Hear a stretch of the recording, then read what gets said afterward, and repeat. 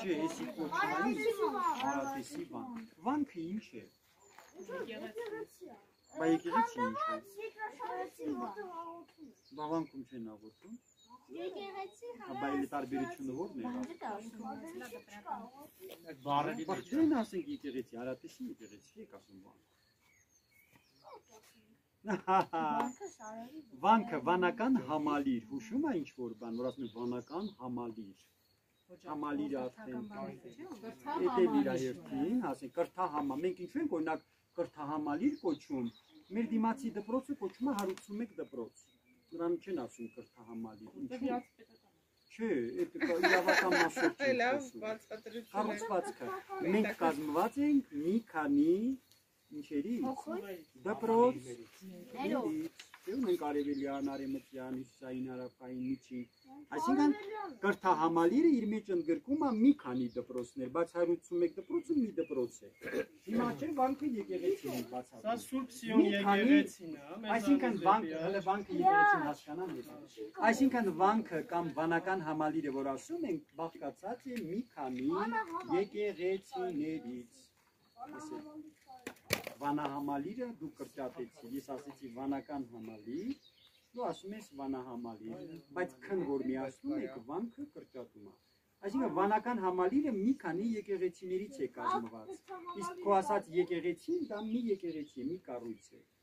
Հիմա անկեր Լևոնը մի քանի բան հաղորդի Արատեսի վանքի մասին։ Այսինքն մի քանի արարքություն է։ Չէ, վանքի մեջ մտնում է երկու եկեղեցի, դա արդեն վանք է։ միանա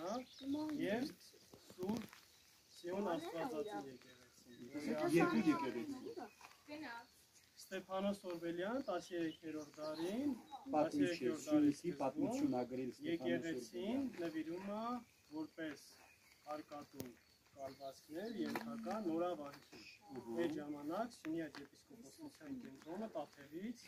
տեղափոխվել էր նորավանք։ Այն ժամանակ վայոց ձորը Սյունիքը մի նահանգ է եղել։ Հիմա տարբեր մարզեր չէ, բայց մենք մի նահանգ ենք։ Սյունյաց մարզը 3 անգամ այսօրվա Հայաստանը Սյունիքի մարզից մեծ է։ Գրեթե 14500 կիլոմետր քառակուսի։ Հիմա 4500 կիլոմետր Որպես մարզ, բայց նահանգը եկում է։ Սա էլ Սուրբ Սիոն Աստվածածը եկեղեցու գավաթն է, որտեղ որ դուք կանգնած եք։ Վերևը ծածկը ամբողջությամբ քանդվել է։ Դե գիտեք, սա կիսավեր համարյա ավիրված եկեղեցի բանք է։ Երեխաները տեսնում են, չէ՞, ստե գերեզմանակար է։ Տապանակարերը, քահանաների, վանահոր եւ այլ ստեղծագործողների։ ոգևոր գործիչները թաղվել են վանքի բակում։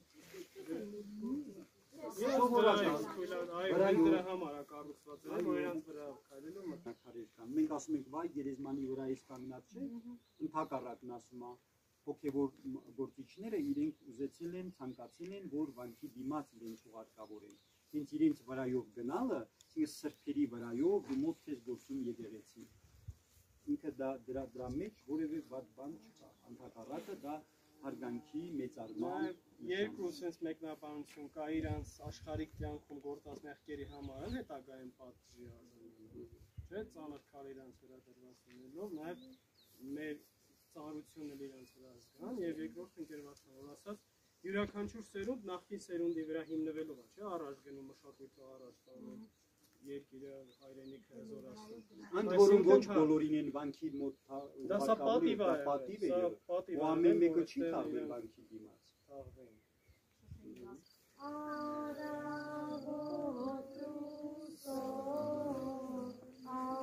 Բարձր